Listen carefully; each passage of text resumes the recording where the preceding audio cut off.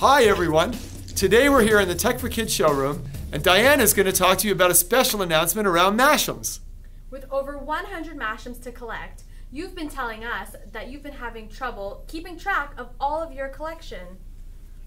So, we've created the Mash'ems app so that you can keep track of all of your favorite characters.